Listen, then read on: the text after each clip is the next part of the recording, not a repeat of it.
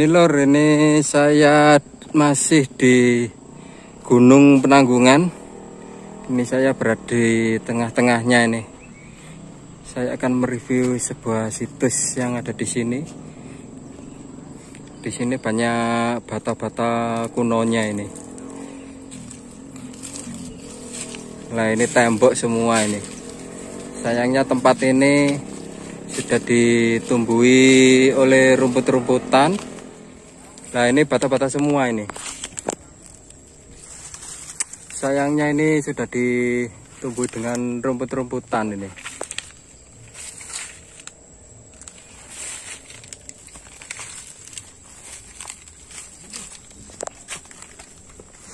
Nah kita ke sana. Nah ini bata-batanya. Ini bercampur dengan batu-batu andesit ini.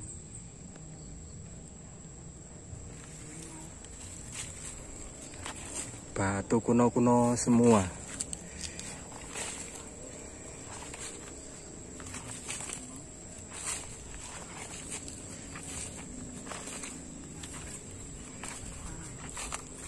Uh, ini bata ini ternyata memanjang. Nah, ini ukurannya.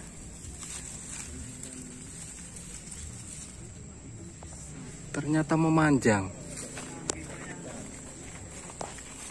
Uh mancing sampai sana.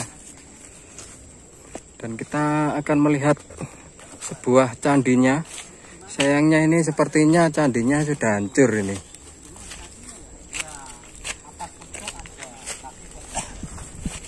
Nah ini candinya ini. Candinya ini candinya. Iya candinya ini. Ini di pucuk gunung. Bukan kaki ya Uh, bau besar-besar batanya. Sayangnya ya ini sudah terpotong-potong, sudah hancur ini. Ini mungkin dihancurkan gimana ya? Iya. Ini dihancurkan atau hancur sendiri. Ini dilihat dari batanya kok rata-rata sudah hancur terpotong-potong semua, nggak ada yang utuh ini ya. Apa dulu ini dihancurkan ya? Nah, ini berada di tengah hutan Gunung Penanggungan. Ini saya mumet.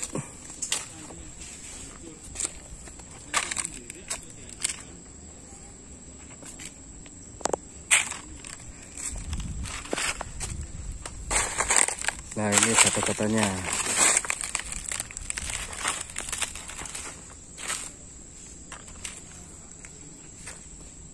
Lu ini panjangnya itu sekitar 10 meteran ini.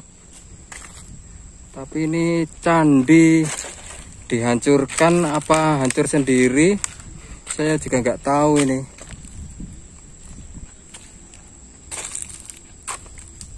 Oh. Seperti ini. Bata-batanya.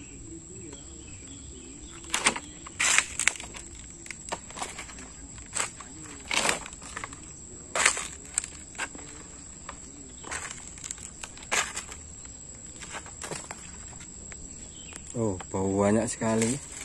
Sayangnya sudah hancur. Ini di dalamnya itu ada apanya?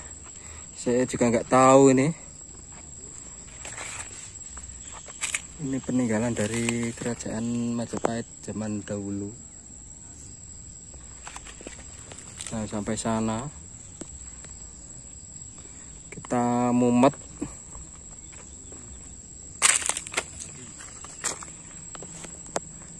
Nah, ini sudah hancur.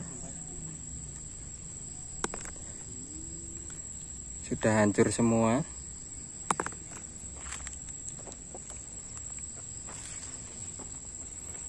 Dan di situ ada bekas pohon jati cuma sudah dipotong.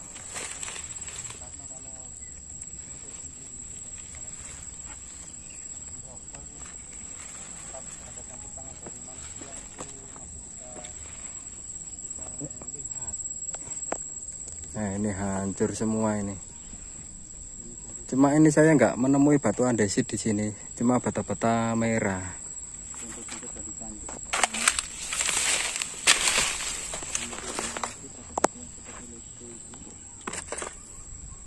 Nah, ini ada batu cuma batu biasa ini.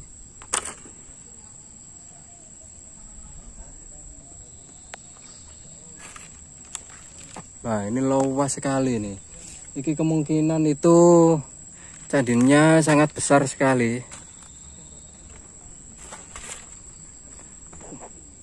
Dilihat dari bata-batanya kan bau banyak sekali.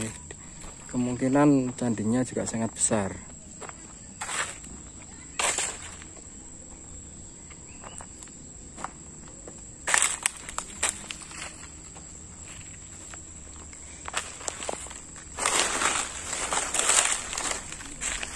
Nah, seperti ini.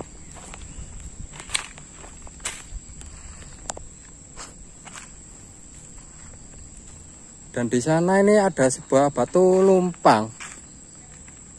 Nah, ini batu lumpang. Kalau yang ini batu andesit. Seperti batu umpak itu.